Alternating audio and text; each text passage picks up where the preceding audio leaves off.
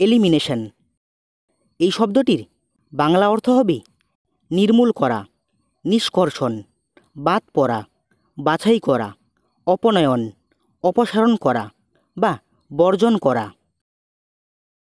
উদাহরণ I solve a problem by a process of elimination আমি নির্মূলের একটি প্রক্রিয়া দ্বারা সমস্যাটি সমাধান করেছি।